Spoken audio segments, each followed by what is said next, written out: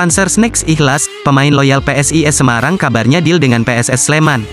Supporter PSIS Semarang, Panzer Biru dan Snakes tampaknya harus ikhlas bila tim kebanggaannya kehilangan pemain yang loyal. Dilansir oleh tribunwow.com, pasalnya, pemain yang loyal tersebut kabarnya sudah deal dengan PSS Sleman. Pemain yang dimaksud adalah Hari Nur Yulianto. Diketahui, Hari Nur Yulianto adalah satu di antara pemain yang loyal di PSIS Semarang. Pesepak bola kelahiran Kendala, Jawa Tengah tersebut membela PSIS Semarang selama hampir 10 musim, yakni dari 2012, 2013 hingga saat ini, yakni 2022-2023.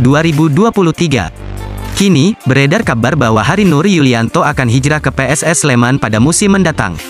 Kabar dealnya Hari Nur Yulianto dengan PSS Sleman tersebut sudah tersiar di jagat maya dan dipanaskan oleh akun-akun media sosial yang membahas tentang rumor transfer pemain dan pelatih Liga Tanah Air. Satu di antaranya oleh akun medsos Instagram at Indonesia pada Minggu, tanggal 30 April tahun 2023. Gersepmen, baru aja rumor kabarnya udah deal aja, tulis at Liga Wakanda Indonesia.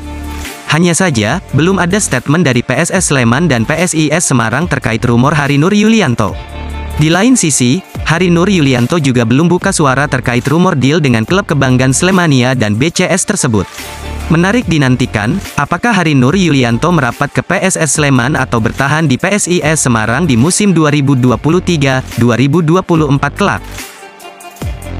PSIS Semarang rayu pemain Brasil dengan bandrol harga 2,61 M, berhasilkah? PSIS Semarang tertarik untuk mendatangkan Tago Becerra dos Santos, gelandang bertahan asal Brasil pada bursa transfer Liga 1 2023-2024. Pesepak bola 26 tahun itu digadang-gadang mengisi slot pemain asing Eropa musim depan, menggantikan Nikola Kovacevic yang terkendala administrasi. Manajemen PSIS Semarang sangat tertarik untuk mendatangkannya sebagai pemain baru pada kompetisi musim depan.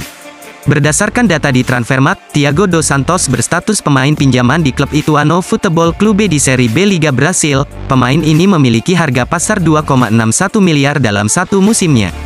Pemain bertinggi 180 cm ini pada musim 2023, sudah memainkan tiga pertandingan dan mendapat satu kartu kuning.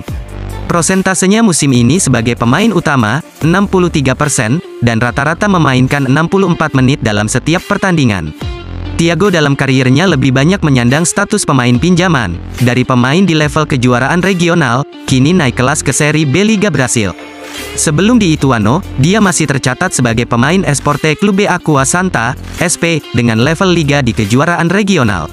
Sebelumnya memperkuat A Internacional de Limeira, di klub Serie A1 atau kejuaraan regional di Brasil. Dia pernah memperkuat Botafogo SP, di Serie B, Loga Brasil sebagai pemain pinjaman pada tanggal 1 April tahun 2022.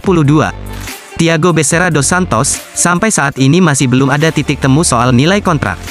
Thiago masih nego-nego, kata CEO PSIS Semarang Yoyo Sukawi singkat.